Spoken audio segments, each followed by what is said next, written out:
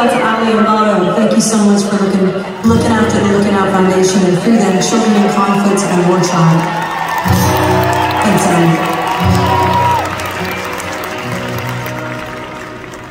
All right, New York City.